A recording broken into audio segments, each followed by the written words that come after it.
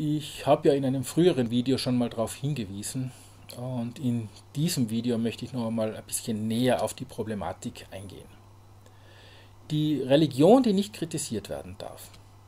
In den Medien wird verbreitet, dass die große Mehrheit der Unkritisierbaren ja nur in Frieden mit den Nachbarn zusammenleben will. Nun ja, Statistiken aus aller Welt zeigen, dass das weltweit betrachtet wohl nur bedingt stimmt, wenn die friedliebenden Unkritisierbaren überhaupt eine Mehrheit darstellen, dann wohl nur eine knappe. Aber für Europa mag das stimmen. Gehen wir davon aus, es stimmt.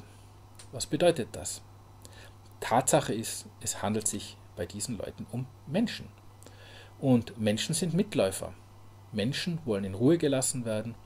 Menschen akzeptieren wirklich vieles, solange man ihnen die Möglichkeit lässt, sich irgendwie unbehelligt durchzuwinden. Und diese menschliche Eigenschaft ist ein Problem, denn wir können mit großer Sicherheit vorhersagen, was passieren wird.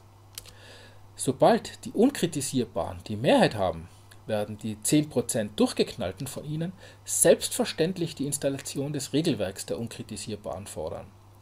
Ein Regelwerk, das ausdrücklich auch Regeln für den Umgang mit jenen, die nicht zu ihrer Gruppe gehören, beinhaltet. Die 90% Friedlichen wollen dann nur in Ruhe gelassen werden bzw. keinen Ärger kriegen und stimmen dem Ganzen ohne groß nachzudenken zu. Und wenig später war es das mit der Demokratie und der Freiheit. Und ermöglicht haben das die friedliebenden Nachbarn, weil sie friedliebend waren und nicht wehrhaft.